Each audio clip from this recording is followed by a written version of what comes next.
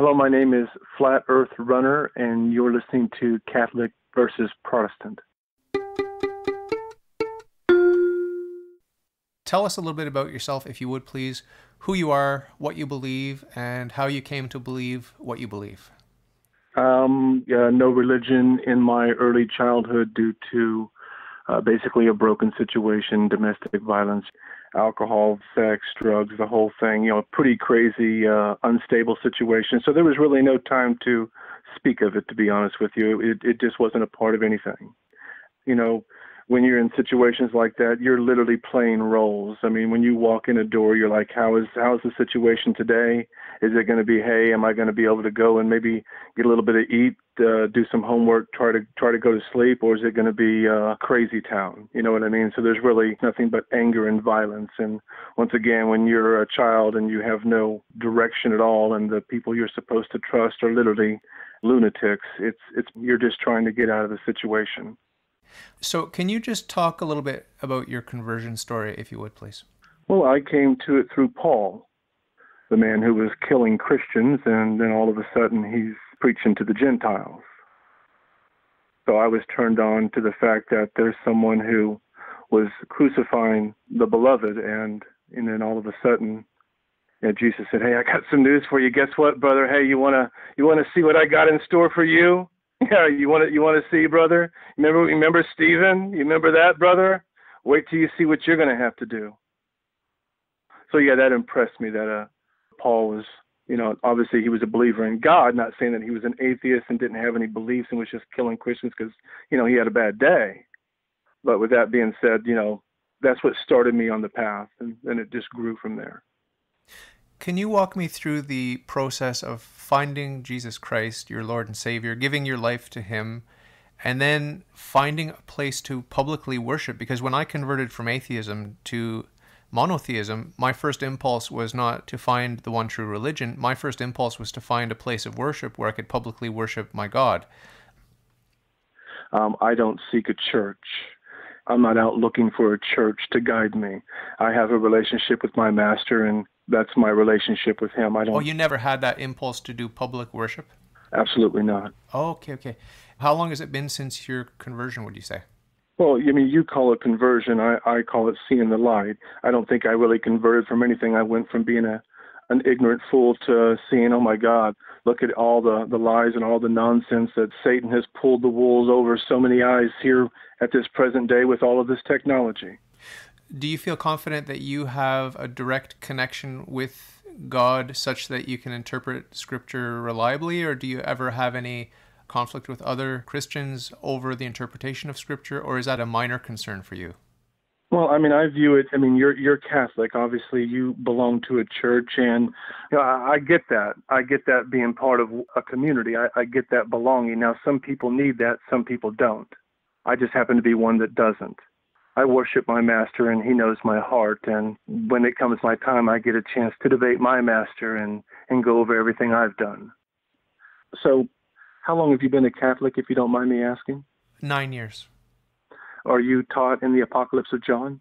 That's part of the canon of Scripture, yeah, the Apocalypse. Does your church teach about the harpazo, the rapture, the gathering? There's so many different terms for it.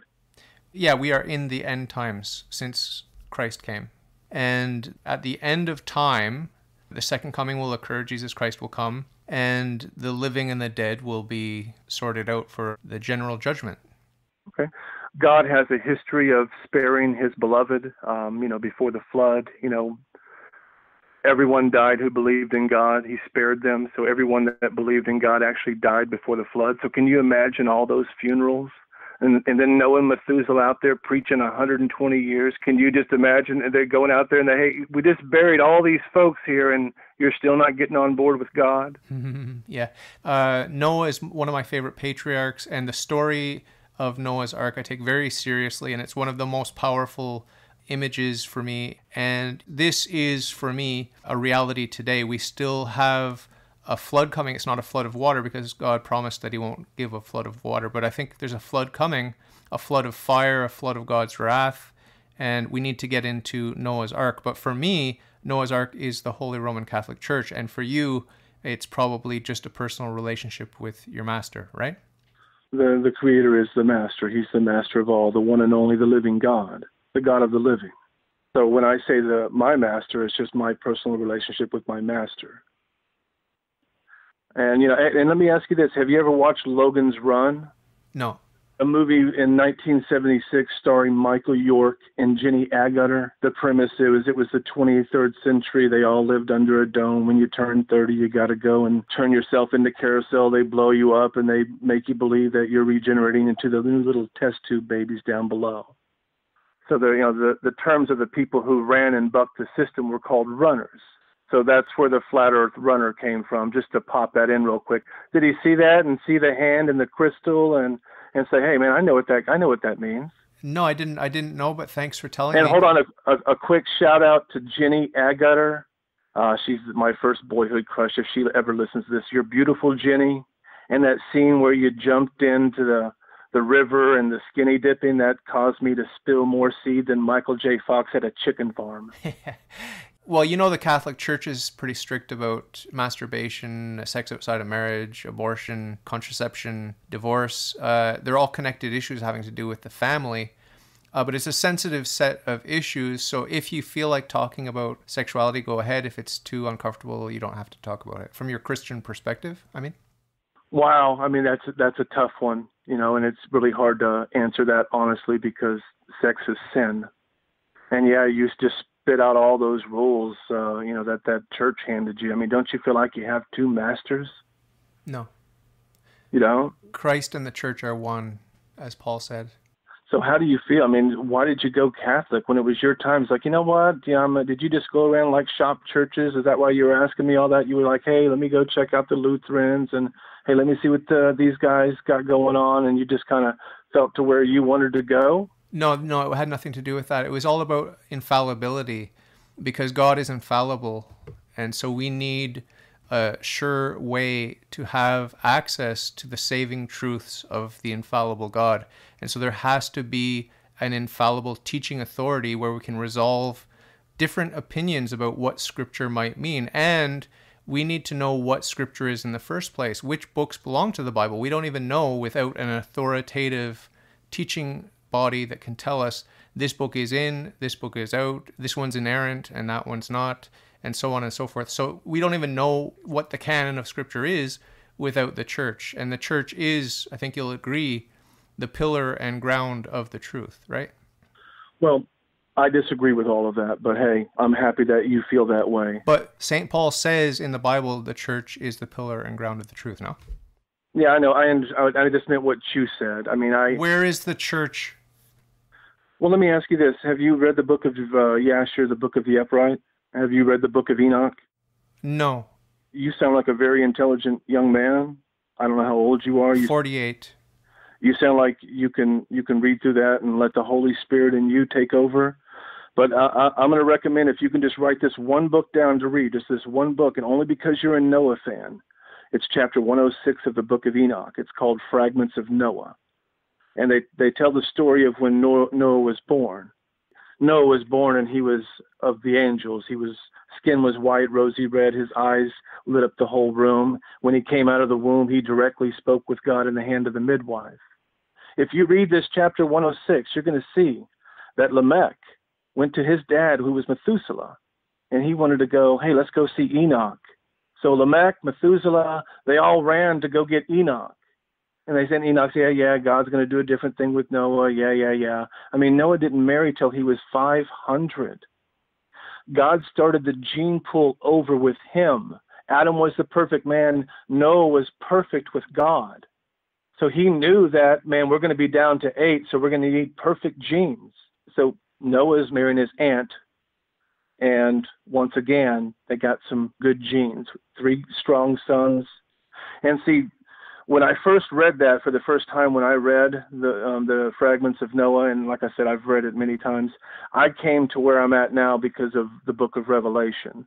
I went through Revelation probably about a hundred times in a span of. I mean, I was I was obsessed with Revelation because I I love a mystery, and I was trying to figure out God's mystery. So.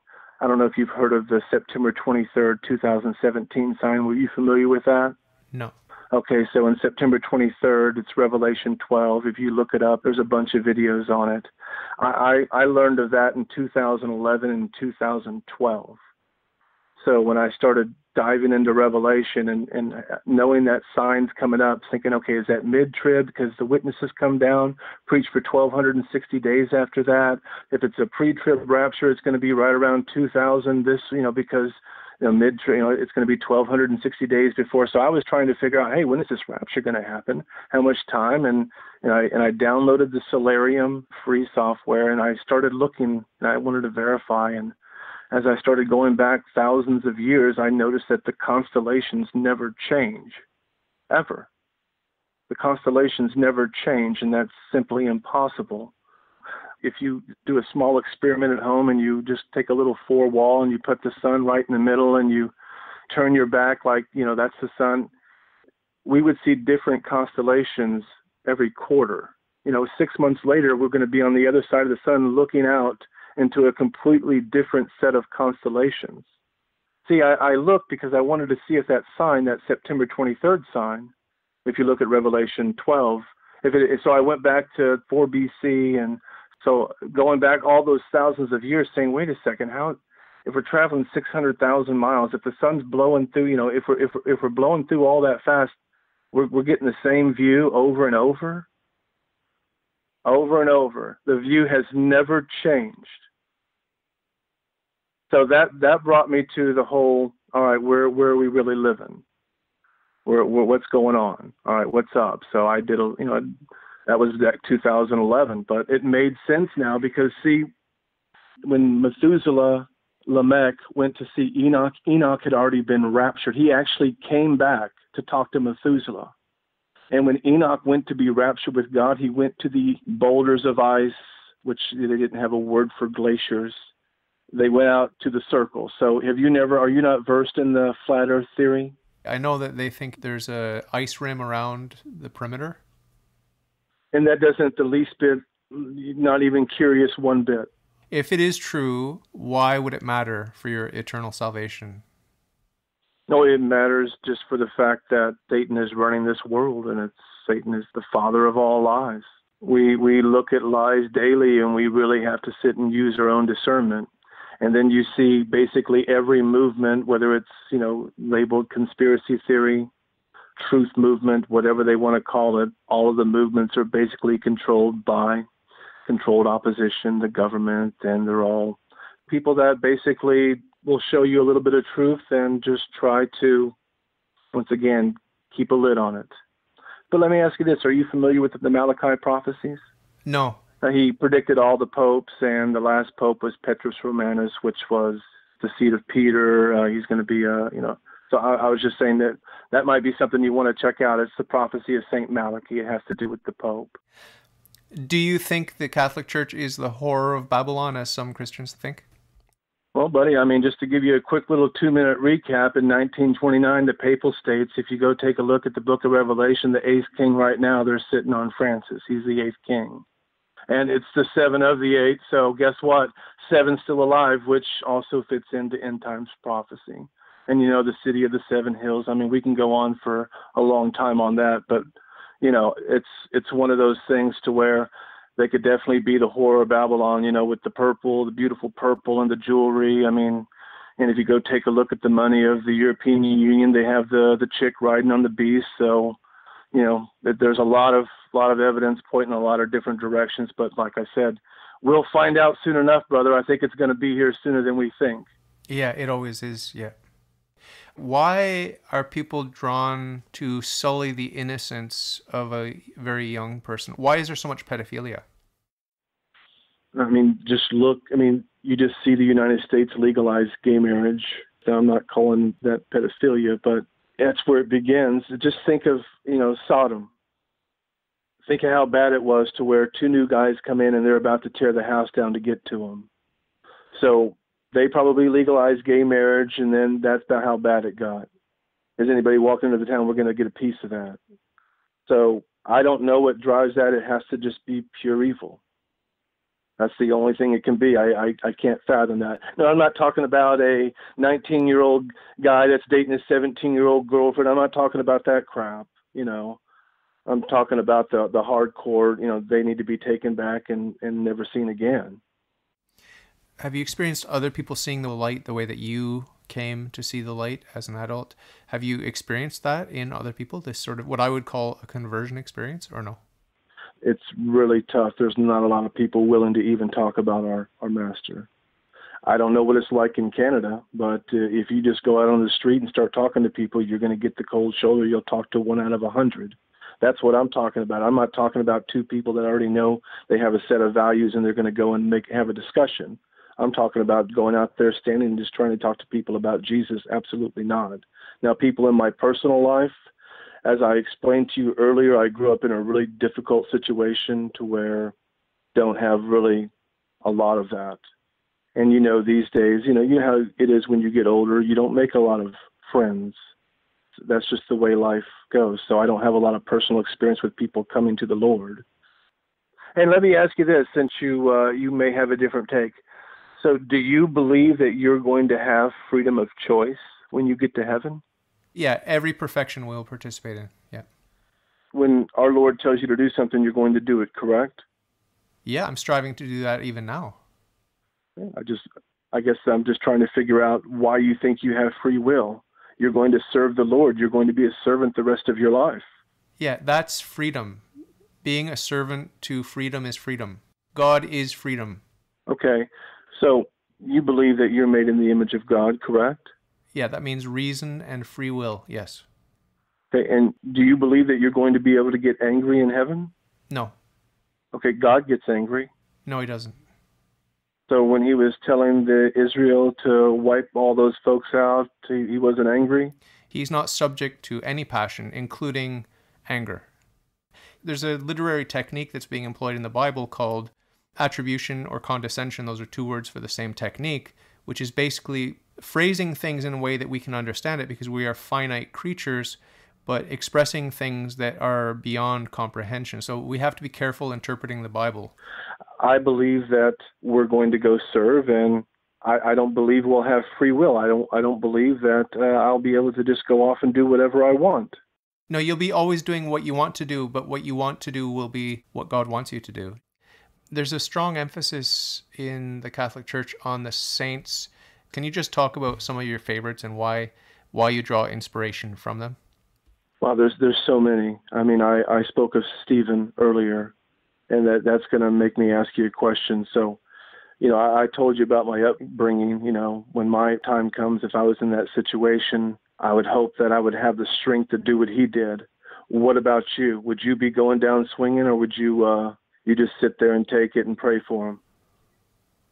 I get impatient even with mild inconvenience in my day to day life, never mind having a bunch of people stoning me to death when all I'm doing is proclaiming the truth. But um, to answer your question, I don't think that I have the strength to do it. But if I'm able to submit and to give my life to God, then He'll give me the strength I need. I've taken a lot of beatings in my day, and it you know it really impressed me when he was sitting there praying for these guys. When I'd be grabbing them and I'd be going down, and I'd be taking a couple with me, just because I'm Old Testament eye for an eye kind of thing, you know you know, that's the kicker. Old Testament eye for an eye, and then what's he do? He comes down here and he shows us it's going to be even tougher than that. Can you imagine never even thinking, never even lusting after all the beautiful women? Can you imagine? So when we get up to heaven, you know, there's no sex in heaven, so it's, you know. But heaven is not less, it's more. It's always more. So we'll have a pleasure that's higher in heaven. So I think you're wrong to look at heaven as a step down in terms of sexual pleasure or in terms of any other pleasure. The danger we fall into when we start thinking about heaven is selfishness and indulgence, self indulgence, right? We don't want to start thinking, what's in it for me? The gifts are wonderful. The gifts, even here below, are wonderful, like sex and food and everything else that we take pleasure in here below. Every good gift is from God, but we need to use that gift not as an end in itself, but as a means to looking toward the gift giver and saying, You gave me all these gifts. You gave me myself, my very life, my health, my beauty, whatever I have that's good, you gave me. That's the point of all these gifts here below, is to point to the gift giver, and then we in turn have to give our lives back to God because He gave our lives to us. And Jesus, in a special way, gave His life in a very dramatic and painful way for our sins. So we need to give our lives to Jesus and we need to suffer patiently and we need to be ready to die for Jesus. And of course, we can never match his passion and suffering and death, but those little crosses that do come to us, we have to try to accept them with patience. And I think this is this is the main challenge that we face is learning to renounce ourselves and to give ourselves to God because he gave us our lives. Are you able to be certain that you are saved or is there some doubt that maybe you will end up in hell? Well, I mean, I have a personal relationship. He knows my heart. He knows that I believe in everything he's ever done. Now, if he's going to punish me, you know, for things that I do and say, then I'm ready to debate. I'm ready. I'm ready for my date with my master. I have a lot to say. What about you? I am not guaranteed salvation. I need to humble myself. Jesus Christ must increase and I must decrease. So that's my moment to moment mission to accept the grace of God and try to take advantage of the grace of God that He's given me, these gifts that He's given me the gift of faith, the gift of hope, and the gift of love. I need to strive to correspond with the good gifts that God has given me. And if I don't, uh, there's a very real danger of burning in hell for all eternity. It's it's very very scary, but I'm not worried about it. Why? Because not because I trust myself, but because I trust God. I trust that God is able to help me because I love him. He's able to help me to detach from my own selfish desires, my own stupidity, and my own ignorance, and to know him, to love him, and to serve him in this life so that I can be happy with him forever in the next. So I don't have a lot of anxiety, but I do acknowledge that it's possible that I'll end up in hell. So I'm trying to prepare now through prayer and the sacraments. I know you don't believe in the sacraments, but you do believe in prayer. I could think that I'm going to heaven now and that I'm not sinning now, but when my death comes, then all the demons come for my soul and they start recounting all my evil deeds, weakening my faith. And if I don't have the graces to persevere through that, I may turn on God and end up in hell. So that's what I'm aware of. And I pray to God to give me final perseverance so that at the moment of death, especially, I'll be protected. But um, at the end of my interviews, I always ask my guests to give a little closing thought, a nice little message of hope. And I hope you'll bear in mind that a lot of my listeners are atheists. So, so you have some atheists listening to you? Yeah, the majority of my listeners are atheists. They're scratching that itch that they can never get rid of, right? so, what could you say to anyone that might be out there listening now? I understand not believing. I, I had a lot of anger I had to sort out. I mean, a lot. So, I I get why they're so angry, and I, you know, I, I enjoy I enjoy talking to them. I mean, hell, you can yell and scream at someone and disagree and still have a good time. It's just the people who really take it too personal. I mean, right now with this generation that's coming up. It's a, the thin skin generation where, you, you know, buddy, they have 24 hours a day on the phone. They can entertain themselves and never have a critical thought in their entire life. You know, their social skills are going to be in shambles. And the only way they're going to hook up is through sites because no one's going to be able to go out and have a conversation. And, and everybody gets their feelings hurt at least atheists, man, you can say whatever you want. No one's going to be crying like a baby.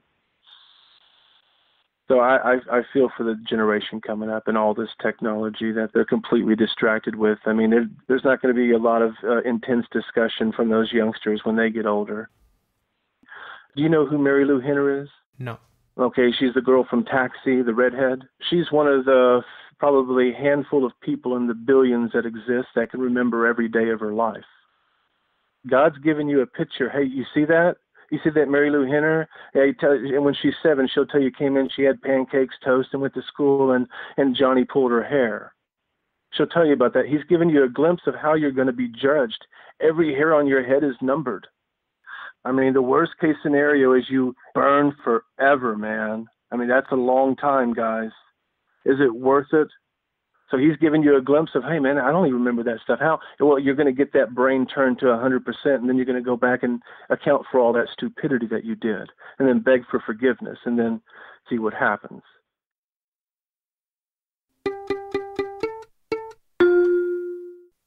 If you like your worldview, if you think it's swell, if you got some questions, ask me and I'll tell. All you got to do is ask. All you got to do is ask.